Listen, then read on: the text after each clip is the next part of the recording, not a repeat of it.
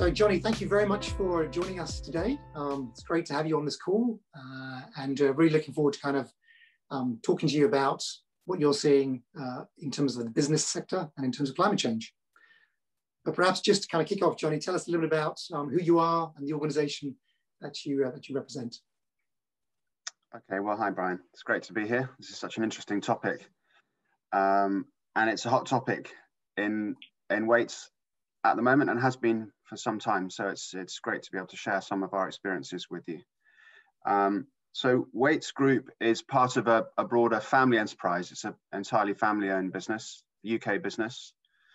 Um, the Wates Group element is the dominant part of the overall enterprise, um, focused in the UK and around the built environment would be the sort of scope we would describe. It's been around for a good while. Um, I'm a fourth generation owner. Generation five are rising fast. Um, the oldest there is 25 already, so we're already into this sort of this transition nowadays is continuous. And right. it, it is worth noting we're quite thoughtful about that. Our role as stewards of something, custodians of something for our generation. So there is generational thinking already built into the way the owners own the business. Um, so anyway, Wates was founded in 1897. As I say, I'm a fourth generation owner. I'm on the Wates Group board and have been for, for some time. I'm also chair of the board sustainability committee, which was instituted four or five years ago. The Wates business within the built environment um, is sort of a portfolio business within that. It's a very big market, the UK construction market and development market. So we do private development, we do um, construction in the commercial space. We do um, a lot of social housing maintenance. We do a lot of public sector work in education and heritage buildings. So without going on endlessly, it's a, it's sort of a, a broadly based business within that built environment market. Okay, and I, give me an idea of kind of the scale of business, Jonny. How how much is it? Is it? Uh, is it? It's privately owned business, isn't it? So it's not. Yeah, yeah, it's privately owned. Um, so revenue uh, is about 4,000 staff. We've got offices right across the UK, um, and revenues somewhere around one and a half billion right. nowadays. Yeah. Okay. Fantastic. Good. And then, Jonny, in terms of um, in terms of this topic of kind of climate change uh, and thinking about you, you mentioned that uh, you're chair of, the, of that board, sustainability board and you're a non-executive director on the on the board. Um, you know how in terms of the critical issues that the Board of Wates are dealing with today, where does the climate crisis, where does kind of climate issues feature in terms of the level of priority, I suppose, and attention that the board is giving this topic? Mm. Well, they're right at the centre. Um, and that's partly because they're, they're part of a system which is highly dynamic.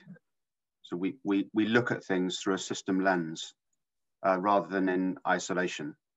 And um, climate is related to a number of other issues that are critical to the board.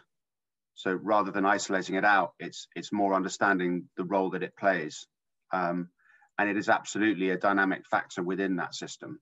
So the it, it's it's probably worth mentioning that um, a little while back we we did some work with a, a third party consultant, um, which was called Horizon Scan work, and we it, it, as the title suggests, it's a scanning of the horizon in the broadest possible sense. The question is, what is happening out there? Um, three, four months of work, so it was quite intense. And the purpose of the exercise was to, uh, we, we had this sense that the environment beyond our borders was, was highly dynamic and there's a lot of change, societal and environmental change, technological change, legislative change, uh, geopolitical change, um, pandemic, Brexit. There's an awful lot of things going on. So the Horizon Scan work was very helpful in identifying the critical issues. Climate change was quite naturally a, a big facet of the overall environmental assessment. Um, and there was a, se a, secondary question really around, well, so what? What does that actually mean to us? And we did some, we did some intensive work um, with help um, to try to make sense of these things that if you like, were um, beyond the conventional scope of a, of, a, of a strategic scan of the environment. Normally that would look at our markets, um, the UK context, customers, competitors. um, what this work did was look far beyond that. So the origin of our focus on climate change really lies in a deliberate attempt to um, try to make sense of what's happening out there, to synthesize it, and most importantly of all, try to build a consensus in our organization as to what that meant to us. So right. the conclusion around climate change was that uh, within the system as a whole, it's a it's a critical factor, absolutely critical. Along with, but you couldn't look at it in isolation, for example, of technology. So if you think about our industry and the rise of offsite manufacture, part of that is being driven by the carbon agenda, but it's also being enabled by digitization and strides, forward strides being made in technology. So you can see the relatedness between those, between those two things. We also see that climate change is much more prominent in the minds of our customers. Not just our customers, but all stakeholders. But let me just talk about customers for a moment. Mm-hmm. Um, when we're bidding for work through our construction business, clients are increasingly expecting carbon solutions. And there's a variety of reasons why they're expecting those carbon solutions, but they lie in that sort of analysis, that reconnaissance that we did the, through the horizon scan helps us understand that this is not a fad or a temporary thing. Our clients are increasingly going to be asking for this kind of focus, for competence and understanding for us as a contractor to help them with solutions around low carbon in the right. build process. So where we source materials from, say, in the construction process, but then also in the whole life cycle of a building. It's very different conversations taking place. So I couldn't be more specific, I think, in the, the board sees climate change as an intrinsic part of what's required for a fit for purpose contractor in the in the present day. And we see that only becoming greater as time moves forward.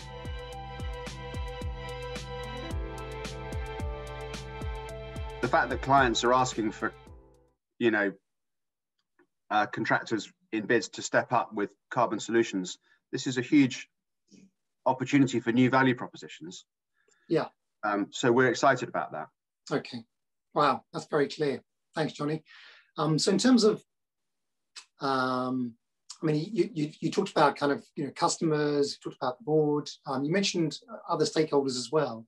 So you know what we are learning is that a huge amount of money is moving into ESG. Um, you know, green bonds being raised everywhere. Um, there's a lot of there's a lot of noise and a lot of attention. It's it, you know it's a real sense that the investment community, you know, pension funds, um, you know, institutional investors are really now um, kind of raising the bar what their expectations are. Uh, are you seeing a kind of a pattern there as well? Mm, for sure. I mean, they do say follow the money, and if you do follow the money, it, it's striking this change, especially in the last eighteen right. months. I think conversations okay. within the financial community. There's a, there's a lot more awareness of, and I think it's coming. It's coming because there is a far greater understanding of the opportunity and risk, particularly the risk dimension of the environmental agenda. And it, it isn't just climate change, it is the broader environmental agenda to do with biodiversity loss, to do with waste. Yeah. Um, and beyond that, of course, about societal justice is a, a, very strong societal justice agenda at the moment. So we're we're responding to that. And I think it's important to recognize that climate change and our interest in climate change, our focus on climate change sits within a very dynamic, broader suite of areas that we think are, are important. But to your point, yes, we are we are seeing some very big changes, and I think that's driving behaviours. Um, in particular, in for example, in PLC clients, their institutional investors are very interested in their climate change performance and the the, the understanding businesses have of the risk and opportunity associated with climate change and with the environmental agenda. Yeah, yeah, very true. I think it was announced last week. Uh, the government um, were talking about, you know, for any any kind of bids over five million for public works, there's going to be a much stronger focus on zero carbon. Mm. Um, so yeah, yeah, yeah. Okay. Certainly, certainly, sort of the. I think the mood music coming out of government. We've got COP fast approaching. So there is a great deal more scrutiny. And uh, I think there's a degree of surprise, but I'm, I personally welcome it as a citizen because I do think climate change is, you know, it's real and we do need to respond. So there is that sort of sense of I've sort of talked through the business lens, but really as a citizen, as a, as a human being, I recognize I recognize the challenge and and feel a responsibility to my fellow citizens, but also to generations to follow. So that, that yeah, I haven't talked about the, the let's call it the moral or ethical aspects no. of this. That is a it's unambiguous in our organisation that we have we going back to the board that we we we have to take responsibility. We have to provide right. leadership. We have to take care of things beyond our own immediate self-interest in this situation. So yeah. it is quite important to understand that that that that plays out quite strongly in our board. It's not just about commercial interest. It's right. also, you know, we have a collective challenge here which we all need to rise to. Yeah. And we, we play our part. It's part of being a, a business that's fit for purpose, actually, and we we we do try to be purposeful. Fantastic. I'm very pleased to be living in a Wates home. Great. Hey, Jonny, our final, my final question really is, um, uh, you know, there'll be business leaders from the property industry and indeed other industries uh, listening to this to this uh, interview. Um, what do you think? You know, what, what what advice would you give to them in terms of this issue? These these issues we've been talking about. What things would you would you would you say to them? Or maybe I'd start where I just finished off with the last question, which is, how do you really feel about this as an individual? And um, given what you know, what actions do you think are appropriate? If you look at, imagine looking future generations in the eye, whether it's your own children or their children, we are we are creating a big challenge for them. Um, I'm personally clear about that, and it does provide me with with motivation. So I, I, do think there's that thing about don't don't leave your your human self at the door when you come to work, and suddenly mm. put on a sort of suit which encourages you to think differently. I do think we need to take ownership at that level. Um, but I don't really want to moralize about that. It's just it, that's just how I feel, and um, yeah. I would really encourage people to to check in with that. And and if you don't fully understand the issues, to just to spend some time, you know, getting up to speed with with what's really going on at a, at a human level, and then um, bring that to work because as I've, I've given a couple of simple examples, but they are quite powerful in our operating context. These examples, you know, we are we are I think it's fair to say that Wates is we might have good intentions and we set some we've set some very public and challenging targets around um, around carbon, around waste, and around nature. Um, so that's all good. That's the intention. But the reality is, it's quite difficult. It, it, we're having to scramble and change. Having to react to clients requiring different things. Um, society's expectations of organizations of, of business is, is changing also. So all of this we've noticed, but we've been paying attention. So perhaps the next piece of advice would be to, to I think it's really important to pay attention to this area. Um, there's a, a, lot to see there, a lot, a lot to learn. And I am in regularly in conversations with people in our industry who are in the same position where they sort of, they're, they're cottoning onto this uh, whether it's through bid requirements or, or other specific things, um, and not sure how to respond. Many, many organizations have declared climate emergencies, but they've now got a backfill around that. So they, they sort of, the pennies dropped, but now what? The, the hard bit, and that this is the bit that Wates is currently going through, is how do we how do we organize ourselves to respond to the risks and opportunities that arise from climate change? Right. Um, that that is quite hard work the, the, good news is there's lots of people out there that can help. Um, there's a burgeoning um, sustainability consultancy community um, and some very good practitioners. Um, so that could, that can help as well. So I, I, I think also to be, um, as one should really around risk and opportunity, to be systematic. So we did that work on the Horizon Scan, and I think without that, it would have been very difficult to build the consensus that we now have around our board table, around our senior leadership team, um, that this is a material issue that needs to be addressed very seriously indeed. So there is a great deal of attention being paid to it. And it's not to say that, you know, we're, we're home and hosed, far from it. You know, I said we're scrambling and, and it does feel like that.